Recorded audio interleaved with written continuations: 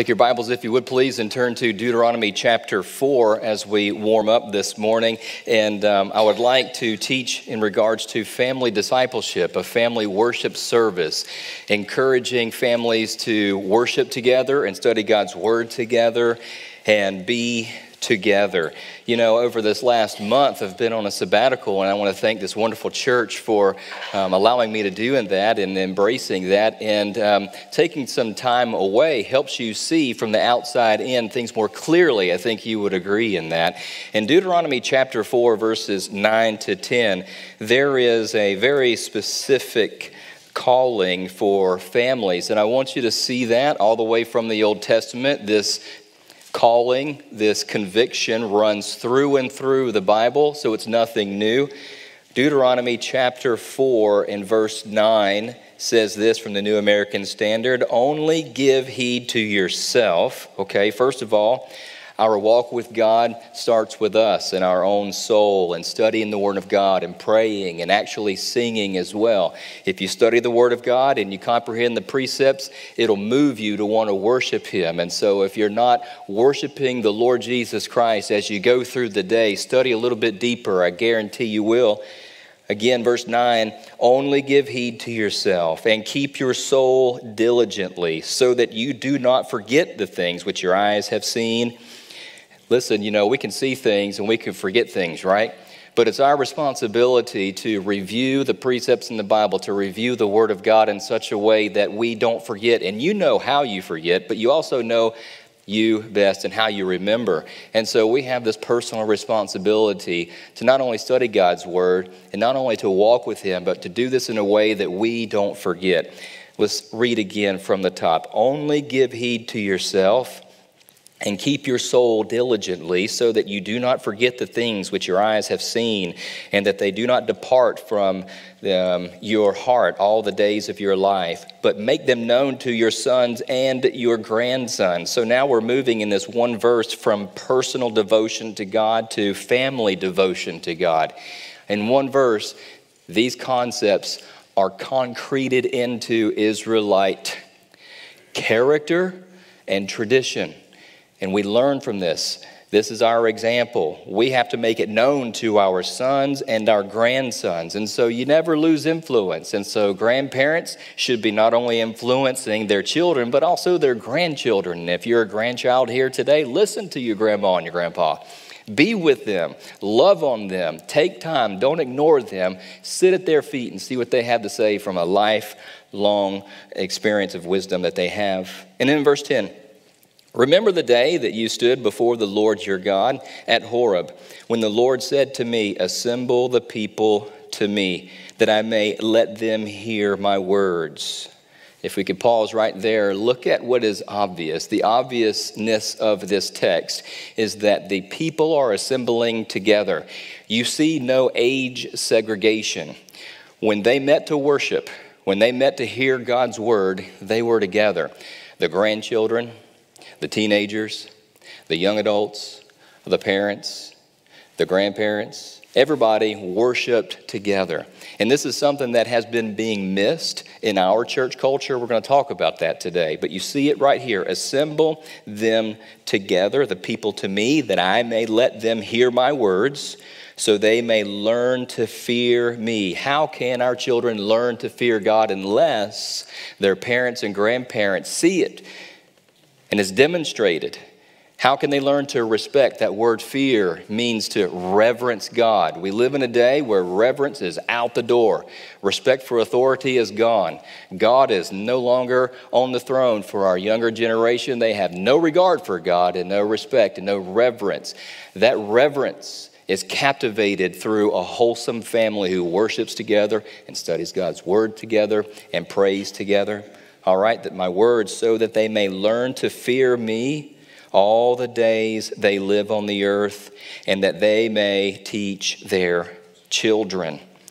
So you have the responsibility here in the text to teach your children, and also the responsibility is to be under authority, to be underneath someone who is teaching you the Word of God. Not only in church, yes, we have the command to not forsake the assembling of ourselves together. But we also see that we are to be underneath someone who can be like a spiritual father or a spiritual mother, someone who can teach us how to act and live according to the Word of God. And because of the divisions of the family today, the family is eroding, and the strength of churches is families. The strength of countries is families. And there are all kinds of movements out there today who are coming against the local family. It's an attack on God Himself. You know, we may have good intentions, we may have sincere intentions, but that still doesn't make them right if we make methods that divide families. And we have been doing that as a church by and large for decades and decades and decades. We have created ministries, we have put staff positions in place to age segregate children, to divide families, and that has never been God's best plan. We have children's pastors, youth pastors, college pastors, and beyond. Now, before we discuss this obvious hole in our ecclesiology, let's discuss some solutions from the scripture. We've got to back up just a little bit and work on some things. It's going to take weeks for us to unfold this subject that I'm bringing to the forefront of our mind today. So come every week if you would, listen every week if you can't come, and stay in touch with where we're going. This is for us a church a paradigm shift. We've been going in this direction for quite a while, but now we're really going to embrace this idea of family discipleship, of family worship. So we'll be working on this biblical paradigm for quite a while, especially this month. And then we'll jump back into the Gospel of John and continue to explore and study it verse by verse by verse. But point number one for today is God does not change. He is the same yesterday, today, and forevermore. That was said in Hebrews 13 8. Jesus Christ is the same yesterday, today, and forevermore. Turn to Malachi chapter 3 and verse 8 if you would like. I'm going to read verse 6. I'm sorry, Malachi 3 6. I want you to see it for yourself that it is an impossibility for God to change. He is perfect. You cannot make perfection better, it's already perfect. And so, Malachi chapter 3 and verse 6 should be highlighted in your Bible. For I, the Lord, do not change. Very simple. I, the Lord, do not change. In fact, his word does not change as well. Isaiah 40, verse 8 says, The grass withers and the flowers fade, but what? The word of the Lord stands forever. And so God doesn't change, his word doesn't change. In fact, Psalm 33 11 says, The counsel of the Lord stands forever. And so, not only does God never change, not only does His word never change, but His counsel never changes as well. And so, this is what theologians refer to as the doctrine of immutability. God cannot change. James 1:17 says the father of lights with whom there is no variation at all. There's no shifting shadows when it comes to God. He is the same yesterday, today and forevermore. You can bank on that. And we need to establish that as a conviction because the same things that he has called us to in the Old Testament are the same things that he has called us to in the New Testament are the same things that he's calling us to today. Why? Because God does not change. His word stands forever, His counsel is sufficient. Point number two, if you're taking notes, which I encourage you to do so, is this God's word is enough. It truly is enough. It's enough for life and godliness. It's enough for our ecclesiology, which is how we do church. It's enough for your business ethics. It's enough for your personal moral ethics. It is sufficient. The scriptures are sufficient. Therefore, we cannot add a jot or a tittle to the scriptures. If you add or take away from them, you're compromising the word of God, and there will be ramifications. So turn back to Deuteronomy chapter 4, verse 2, and I want you to see from the very beginning here, when Moses is giving the law, that we have an obligation to not add or take away from the perfect word. It is sufficient, it is enough. Deuteronomy 4 and verse 2 You shall not add to the word which I'm commanding you, nor take away from it. That you may keep the commandments of the Lord your God, with which I am commanding you. So you can't add and you can't take away. And obviously, the book of Revelation capitalizes upon this verse and references that, and that all the plagues would be added unto you as well if you do that. And so you cannot compromise the word of God. It's here for our safety and our protection and our sanctification. Believe it or not, a massive amount of staff positions have been added to what would be a biblical template of ecclesiology. Believe it or not, a massive amount of programs and methods have been added to biblical ecclesiology, what we actually do in service to God, how we worship Him, how we come together, in our good heartedness, in our efforts, in our genuine to please God, we have added to the simplicity of the Word of God. But God's Word is enough, right? Do we not need to just search the Scriptures, find out what needs to be done, and do those and be satisfied in the Scriptures, right? Why add to it? Why make something more into it? Why add to it? Well, we've added to the simple and effective Word of God, and I'll continue to explain these things as we go. But nevertheless, we certainly have complicated ministry over the years, and that compromises the doctrine of sufficiency, that the Word of God is sufficient. We're all have been guilty of this, and I'll explain more as we go, as the weeks unfold. But we're going to be faithful to strip away anything that we don't see in the Word of God and just simply execute what is said and done in this too. this worship place. Point number three, and this is our main idea for today's message. God expects parents to teach their children. Period. That's what Deuteronomy chapter 6 is all about. But again, I want to read Deuteronomy chapter 4, verses 9 and 10 before we read in chapter 6. And by the way, this is grandparents as well. You see that. Deuteronomy 4 9, only give heed to yourself and keep your soul diligently. So you see, it starts with you so that you do not forget the things which your eyes have seen, and that they do not depart from your heart all the days of your life, but make them known to your sons and grandsons. You see the responsibility of family discipleship. How can you make them known? The scriptures, the word of God to your sons and grandsons without intentionality. It's not haphazard, it's very intentional. The Great Commission is very intentional. You cannot be lazy and expect dynamic results. But there have been so many things that have crept in in our lives and made us busy.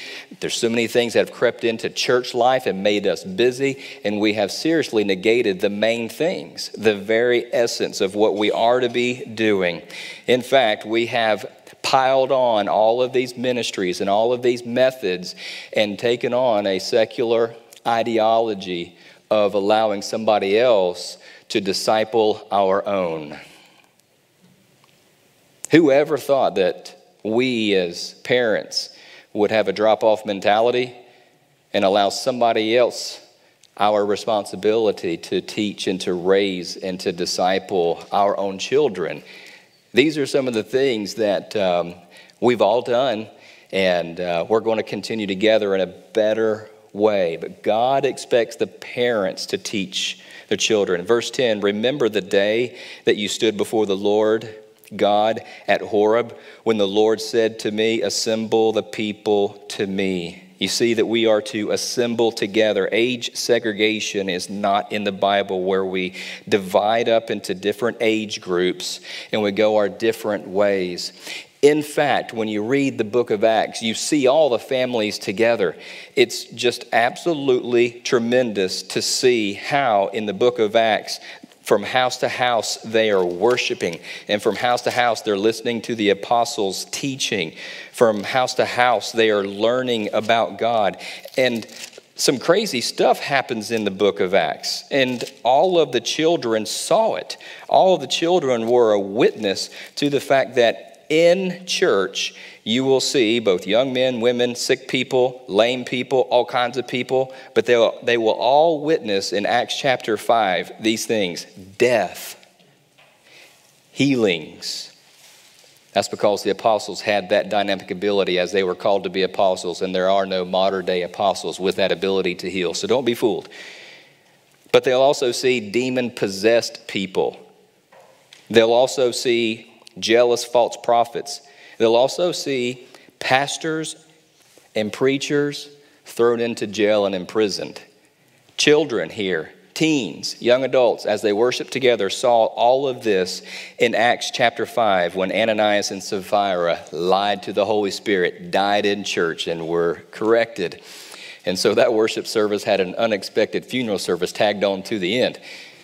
But let me ask you this don't you want your kids to fall down off of their training wheels in front of you so that you can help them back up? Don't you want your children in worship, in church? Because all of these things are going to happen with you next to them or not. And they're going to have a perspective that's formed of God, and you'd better be there for them.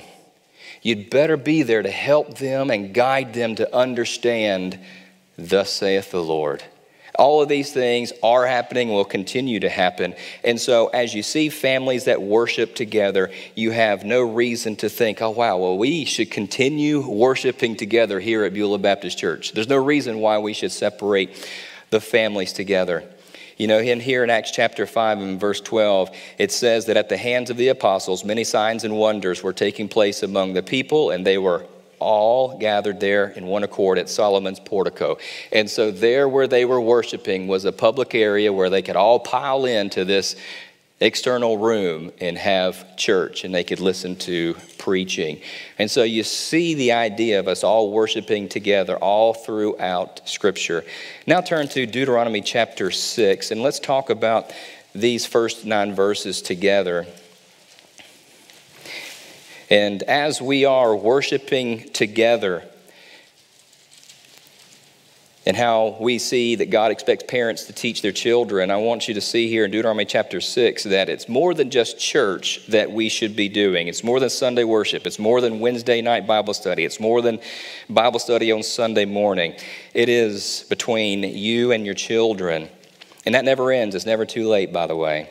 Deuteronomy chapter 6 and verse 1 Now this is the commandment, the statutes, and the judgments which the Lord your God has commanded me to teach you, that you might do them in the land where you are going over to possess it, so that you and your son and your grandson, you see that, right? We're all together. You and your son and your grandson might fear the Lord your God. And so when you're worshiping God at home, when you're expanding upon the scriptures and you're explaining them to your sons and your grandsons, that creates something that is indispensable. Right here it says that it creates the fear of the Lord. And in Proverbs 1 7, it says that the fear of the Lord is the beginning of what? Wisdom. The very starting point of their walk with God is with you and how you show them how to fear the Lord and how to reverence Him and how to love Him. And so, to keep all his statutes and his commandments, which I'm commanding you, all the days of your life, that your days may be prolonged. O Israel, you should listen and be careful to do it. Be very careful, by the way. Very, very careful to do it.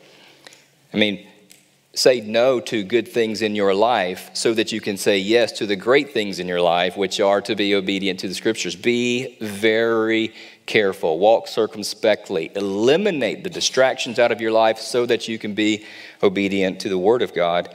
O Israel, in verse 3, you should listen and be careful to do it, that it may be well with you and that you may multiply greatly. Hey, guys, you know what? Um, if you haven't caught on, it's, it's best to read with your finger in place because I pause and explain a lot, right? Well, here it is. What is Christianity multiplying today? Are we really doing a great job of making disciples? Uh, you know, I know who is. Islam are. Oh man, the cults are. They know how to train and retain. Mormonism is. You know, when, um, over on the other side of town, you have the Mormon Ranch, and it's huge. There's tons of people there, and they have an influence. And uh, one of the values in Mormonism is family discipleship, by the way. And um, when you look up family discipleship, you see there's more written by the Mormons than there is by Christians. This is a gaping hole in our Christian lives. We got to address it and we got to fix it. And guess what? Growing up, I always saw Christians who profess to be Christians convert to Mormonism all the time because of the influence. I never saw Mormons converting to Christianity. It's just a fact of my personal observation. And today we see Jehovah's Witnesses as well who are doing a dynamic, might I say, evil job of discipling their members. They won't come here. They've been instructed not to. They won't listen to your word. They've been instructed not to. They know how to answer the hard questions. They've been taught how to. They are doing a great job of training and retaining. But here we see that we should be multiplying, and we're going to fix that just as the Lord, the God of your fathers, has promised you in a land flowing with milk and honey. Now, don't conflate New Testament blessings and Old Testament blessings. In the Old Testament, Israel was blessed with physical blessings. In the New Testament, believers are blessed with spiritual blessings. So when you see milk and honey, it is uh, descriptive of the invisible blessings like love, joy, peace, patience, kindness, goodness, gentleness, and self control, mercy, and all these wonderful things that God would bestow upon you who are dedicated to Him. And by the way, you know that the invisible blessings are worth so much more than the physical blessings. Who of you would rather have um, the cattle on a thousand hills or a huge ranch and yet a horrific marriage, right? Who, who of you would rather have a billion dollars and yet kids who want to kill you? That, that's not true. So, it's the spiritual blessings of a life and legacy in Christ are what God wants for us. And so, verse 4 Hear, O Israel, the Lord our God, the Lord is one. Verse 5 You shall Love the Lord your God with all of your heart, with all of your soul, and with all of your might. You see that all of your being here is to be completely consumed in loving God. And how do you do that? Well, it's intentional. You learn God's word and you can love Him with your mind. You sing God's word and you can sing from your soul and your heart. And then you serve God's uh, serve God with your hands and your feet and your time. And you can do that with all of your might. In verse 6, these words which I am commanding you today shall be on your heart. So it starts with you and your personal walk with Christ. And then verse 7, you shall teach them diligently to your sons, and you shall walk of them, uh, when, you shall talk of them when you sit in your house, and when you walk by the way, and when you lie down, and when you rise up. Folks, every day, all day, it's all about God. Everything you say and do should be bringing glory and honor to the Lord Jesus Christ. And if you can't do it in honor of Him, if you can't say it in honor of Him, don't do it and don't say it. And uh, at the same time, why you do what you do and how you do what you do is very, very important. And if you have your sons and daughters with you as you go through life and a trial comes your way, then your kids and your grandkids will see how to overcome a trial in your life because of your witness. You'll be able to teach them these things. And so, while you're sitting, while you're walking, while you're lying down, while you're rising up, while you're doing life every day, all day, we should be teaching them about the things of God and the ways of God. And then in verse 8, you shall bind them as a sign on your hand, and they shall be as frontals on your forehead. You shall write them on the doorposts of your house and on your gates. And whether or not the, all of the commandments and the laws that you see are ceremonial or civil or moral in the Old Testament, the ones that apply are the ones that apply, especially the they apply. The civil laws all the dietary stuff you know. I mean i love to eat meat and cheese at the same time but the israelites couldn't and there was a reason for that. The israelites couldn't eat you know pig and i know many of you love your barbecue here in the south and so do i. But there were reasons for those dietary laws for them to be set aside from the pagan nations. And um, and so the civil laws you don't want to get them conflated with today's application. Take the moral laws and make sure that you do them when you read the scriptures. Let me ask you a question. If we don't, what's going to happen? What if we don't? If we don't disciple our own, if we don't keep our families together, if we allow Satan to continue this divisive work, what'll happen? Well, in 1 Kings 15 3, it's pretty obvious. It says, He walked in all the sins of his father which he had committed before him, and his heart was not wholly devoted to the Lord his God like the heart of his father David. David was a mighty man of war, but just like Billy Graham has confessed and testified, the calling on his life came at an expense of him being a good father. And so when you put God's work above your own family, it's a bit out of balance there, and there's a price to pay. And um, I'm saying nothing that hasn't been in print from Billy Graham himself. And so we can recognize the fact that we need to fight against the American dream being an ideology that we embrace, that success financially and having maybe the house or the vehicles or the amount of dollars coming in or the retirement plan is your goal. That's not your goal. Otherwise, you'll be robbed of the most important things. In fact, that shouldn't be at all your goal. You're, you have to provide, that's given. You'll be worse than an infidel, but Jesus Christ is the one who provides for our needs. My God shall supply all of your need according to his riches in Christ Jesus, Philippians 4:19 says. And so, if it's God's job to provide, then why have we as fathers made it the goal of our life to just provide and then when we come home we kick up our feet and don't do anything else? It is a serious plague to the fathers in the Appalachian Mountains as I've traveled through and preached in many, many, many churches through Bible college and stayed in many, many, many different homes. As the culture is this the fathers bring home the bacon, and that's about it. They don't do anything around the house. They don't help with the children. They don't teach the children. They don't brush their teeth. They don't change them. They don't do anything. And they don't, they don't help with cleaning. They just sit their feet up and they watch TV. Every single home that I stayed in, it was sadly that being the testimony. And so how have we allowed a worldly culture to rob us of such meaningfulness? Except for the fact that we've been distracted and we need to repent of these things and head in a more biblical direction. Not that anybody's intentions were insincere, not that anybody did it on purpose, but you know, that's where Satan really gets us. He just distracts us and keeps us from the greatness which God has. And guess who pays the consequences for it? The next generation, right? It's so sad. But if we talk about these things humbly before the Lord today, maybe we can reshape our church culture and create a new paradigm here that's more biblical and, um, and spread that around and let folks know. In fact, I believe that God is bringing three CC groups to this wonderful church. Classical Conversations is a homeschool network, and many, many families get what I'm saying.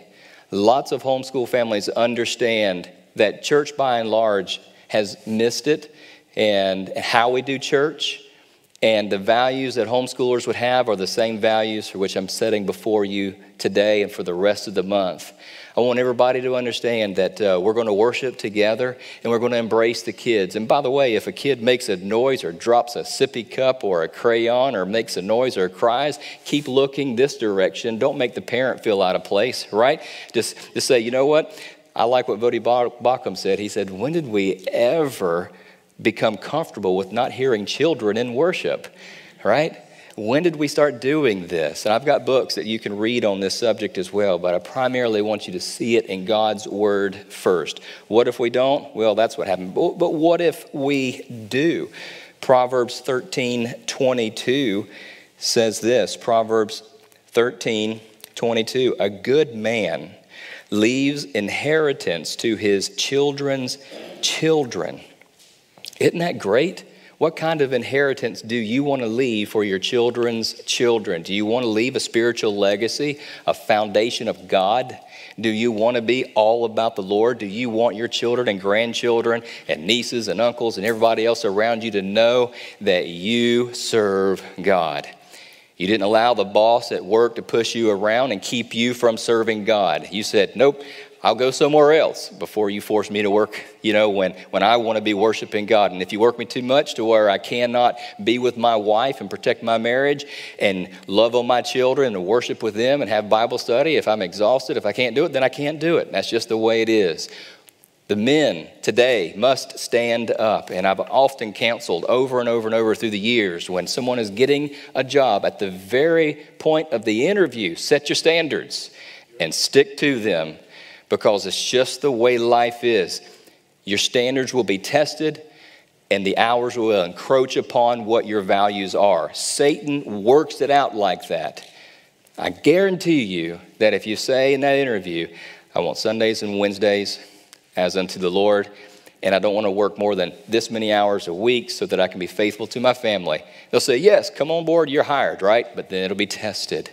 And then when it's tested, you go back you, you said, I agreed to this. You agree to that. Keep your word, I'll keep my word, and we'll be fine. You've got to stand upon these principles. They will be tested.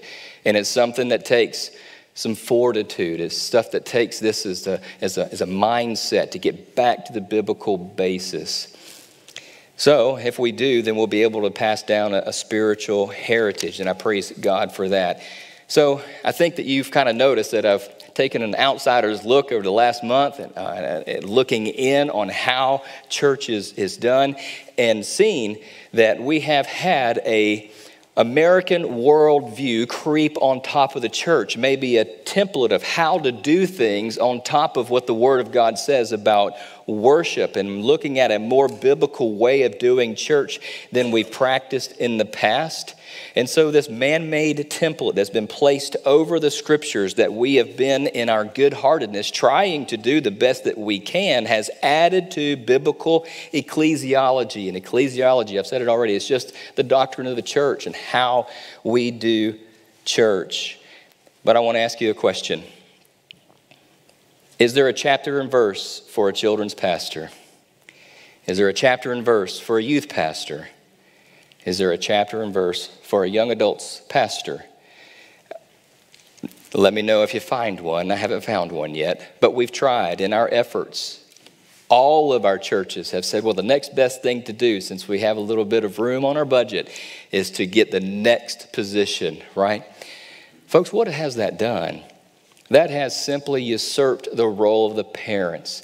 And this idea of hiring a children's pastor or a youth pastor or a young adults pastor to train your children for you has usurped your role biblically.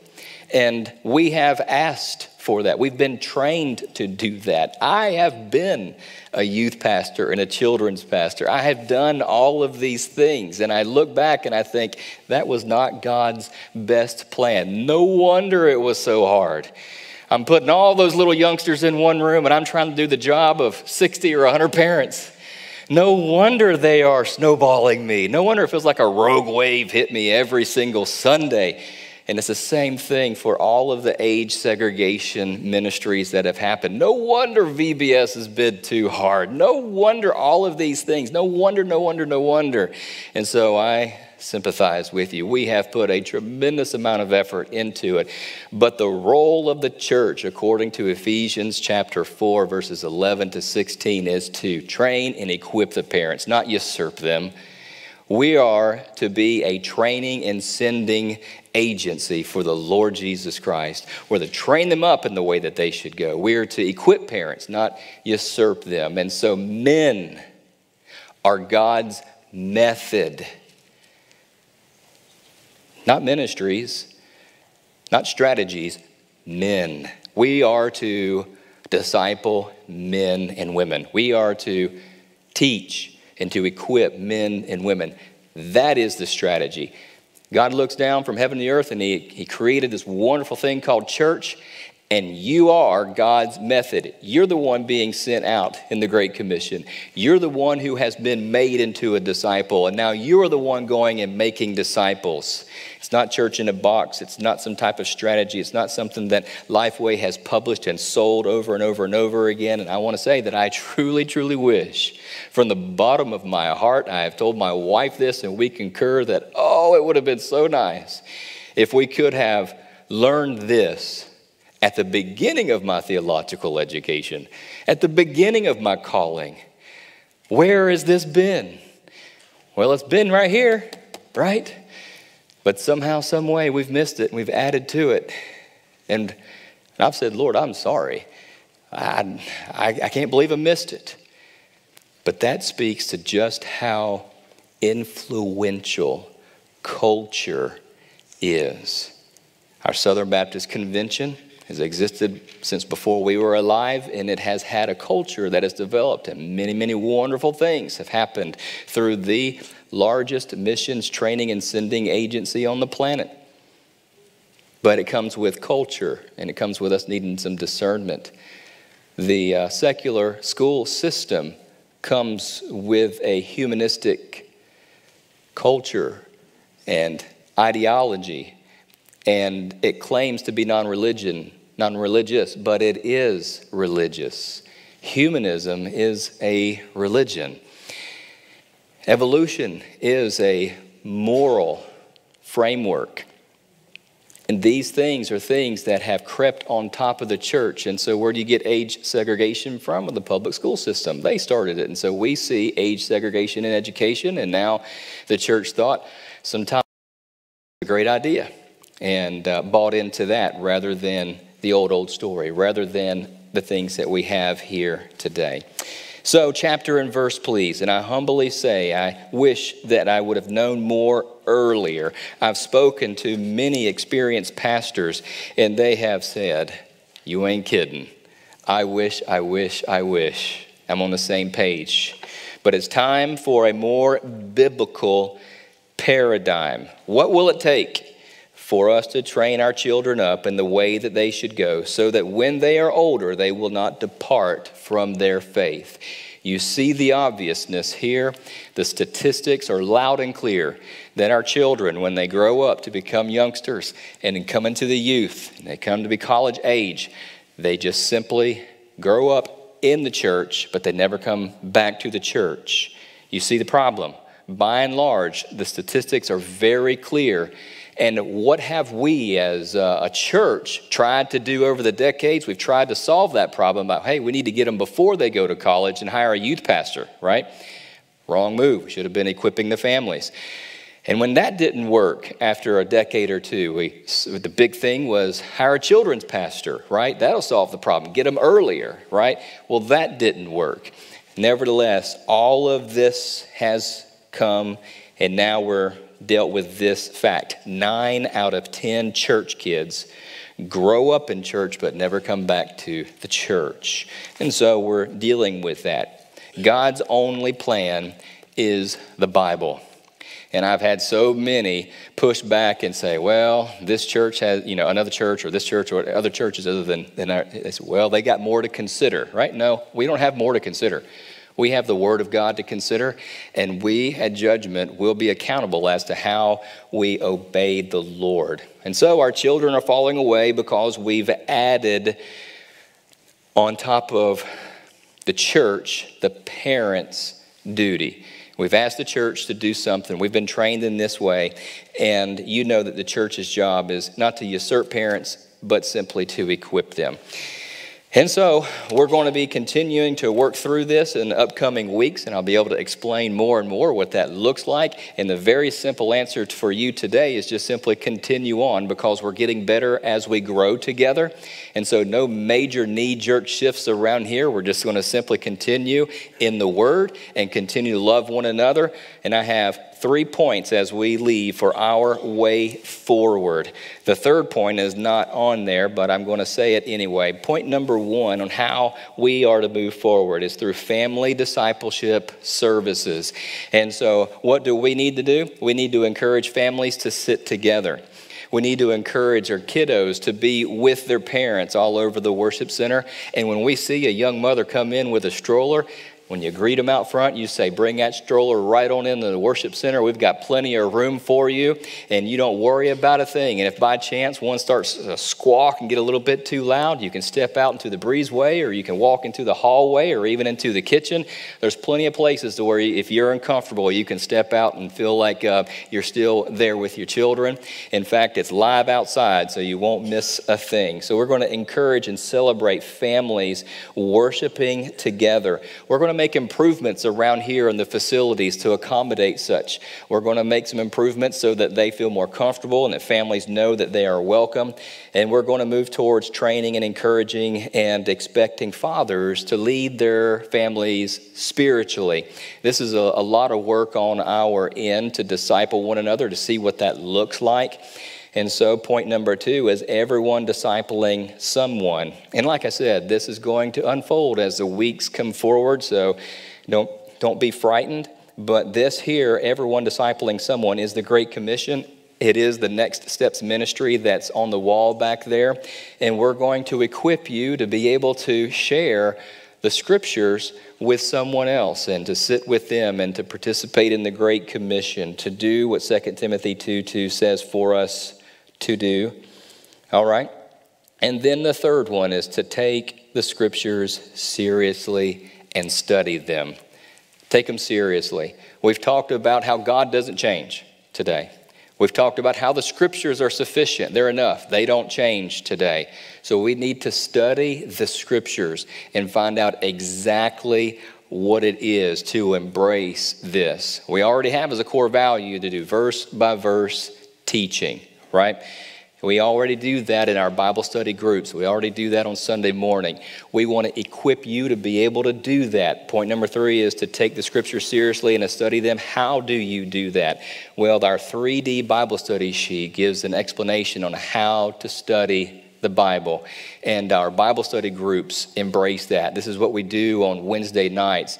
We want to equip you not only to just surfacely read the scriptures, but to rightly divide them and how to know what the word says. How can you defend your soul against the enemy who is very, very good at creeping in?